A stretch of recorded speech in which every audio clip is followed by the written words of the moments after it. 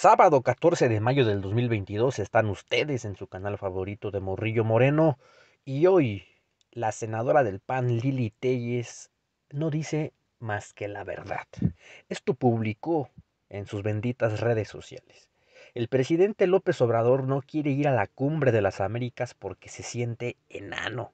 Se siente enano entre gigantes y enorme entre tiranos que ya deje de hacer el ridículo en sus conferencias matutinas. Solo complica las relaciones de México con los países democráticos. Así de contundente fue el mensaje de la senadora Lili Telles, que es una seria aspirante a la presidencia de la República en el año 2024. Y por supuesto que tiene toda la boca llena de razón. El presidente López Obrador sí acude a países de Centroamérica a visitar a a los presidentes de dichos países.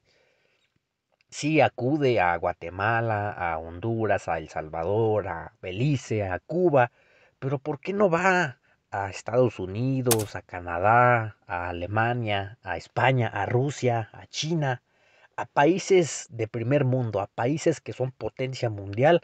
¿Por qué no acude? Pues porque se siente chiquito, y se siente grande, se siente enorme, se siente gigante visitando a presidentes de países, con todo respeto, de tercer mundo.